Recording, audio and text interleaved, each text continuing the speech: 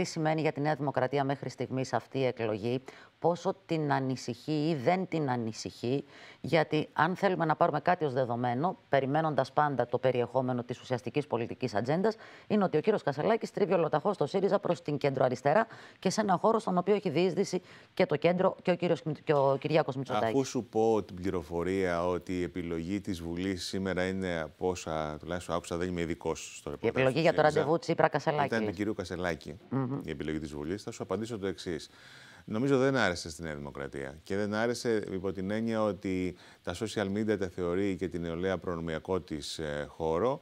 Και όταν εμφανίζεται ένας παίκτης ο οποίος έχει τέτοια ορμή στα social media, ε, κατά τη γνώμη τα social media είναι να τα παρακολουθείς βεβαίως, αλλά δεν είναι καθοριστικός παρόμοιο πολιτικής. Αλλά, εν πάση περιπτώσει, αυτή είναι η δική μου μειοψηφική άποψη του 20ου αιώνα, ενώ ζούμε στον 21ο. Εγώ πιστεύω σε άλλους όρους ε, παραγωγής. Ναι, ναι, θα δούμε αν ο ανταγωνισμός θα είναι καλύτερο TikToker, ο Κυριάκο Μητσοτάκη ή ο Αλλά έχω την εντύπωση ότι δεν τους άρεσε. Θα θέλανε λίγο την Έφη Αξιόγλου που είναι πιο στημένη σε αυτά και πιο δεσμική. Και πιο γνωστός αντίπαλος, εν πάση περιπτώσει.